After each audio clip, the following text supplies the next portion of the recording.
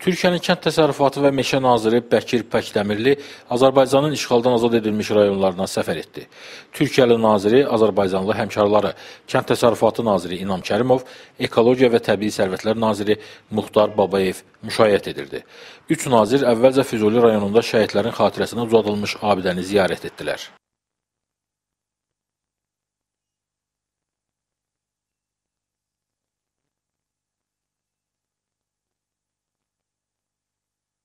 Daha sonra onlar Ermənistanın xarabalığa çevirdiyi Füzuli şəhəri ilə tanış oldular.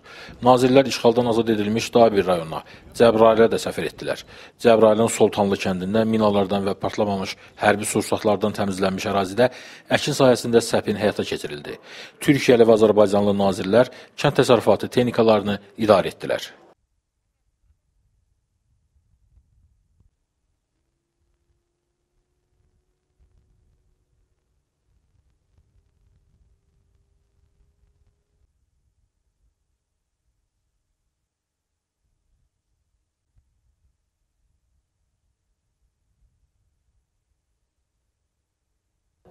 Nazirlərin səfər etdiyi üçüncü işğaldan azad edilən rayon Zəngilan oldu. Onlar rayonun 1-ci Ağalı kəndində salınan 5 hektarlıq qardaşlıq bağında ağac əkdilər.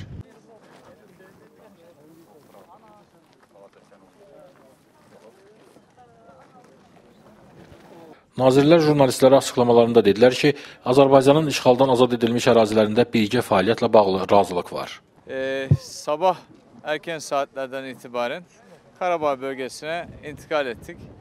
Tabii maalesef e, bölgenin ihmal edilmişliği son 30 yılda e, bir çivi çakılmamıştı. E, hakikaten bizi de üzdü.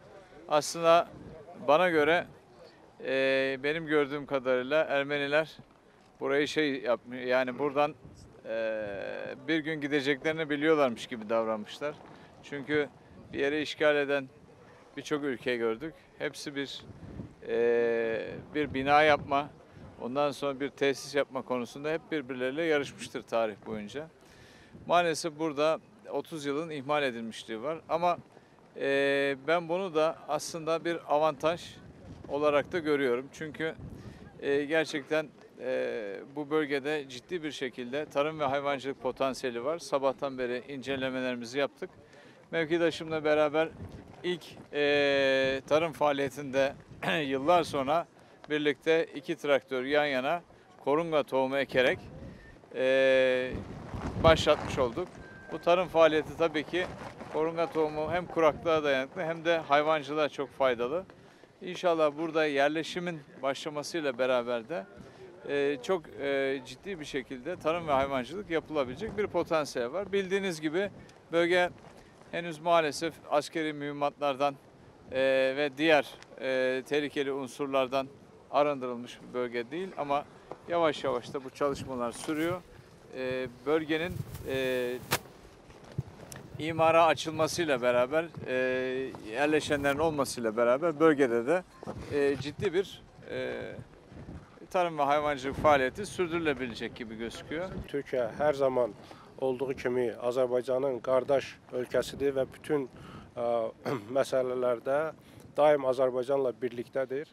Ona görə də digər sahələrdə olduğu kimi aqrar sahədə də bizim Türkiyə ilə əməkdaşlığımız tam təbiidir, qaçılmazdır və zəruridir. Və biz ə, burada ə, işğal edilmiş ə, ərazilərdə kənd təsərrüfatının müasir standartlar əsasında mü- müasir texnologiyalar tətbiqi ilə qurulmasını planlaşdırırıq və bu bu sahədə də Türkiyə ilə əməkdaşlığımızı planlaşdırırıq. Bildiyiniz kimi işğaldan azad edilmiş ərazilər kənd təsərrüfatı baxımından böyük perspektivə malikdir və bu ərazilər ənənəvi olaraq Azərbaycanın həm heyvandarlıq baxımından, həm e, bitkiçilik baxımından, həm meyvəçilik baxımından, üzümçülük baxımından ən ə, qabaqcıl ə, regionlarından biri olmuşdur. Əlbəttə ki, bu ənənələrin bərpa edilməsi, xüsusilə də taxılçılığın, heyvandarlığın, meyvəçiliyin və ə, tərəvəçiliyin müxtəlif istiqamətlər üzrə artıq işlər başlanılmışdır və bugünkü günə qədər 7000 hektardan artıq cənab prezidentin tapşırığı ilə ə, ə, əkinlər aparılmışdır və artıq mövsümün gəlişi ilə bağlı biz e, yazlıq əkinlərin də e, başlanması nəzərdə tutulur. Qeyd edək ki, Bəkir Pakdəmirlinin səfəri Azərbaycanın işğaldan azad edilmiş rayonlarına xarici ölkədən nazir səviyyəsində ilk səfərdir.